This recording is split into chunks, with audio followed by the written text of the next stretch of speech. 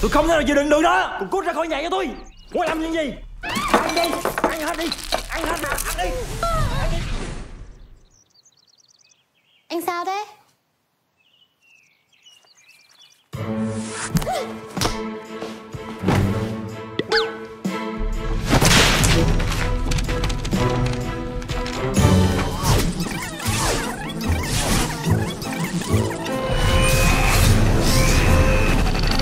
Em không nói thì em biết làm gì bây giờ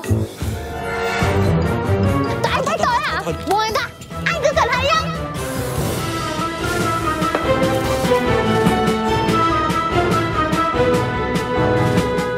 anh đang đi toilet mà Có chỗ nào trên người anh Mà em chưa nhìn thấy không? anh không ăn bò xào nữa Ông xã, anh đang ốm đấy à? Hôm nay chúng ta sẽ bắt đầu chuyên mục nói thẳng mất lòng. Muốn gì là phải làm cho bằng được? Không quan tâm tới cảm xúc của người khác. Ghét tiếng ồn, ghét ai nói nhiều Ghét tụi anh mình nói gì mỗi thừa Ghét tất cả mọi thứ.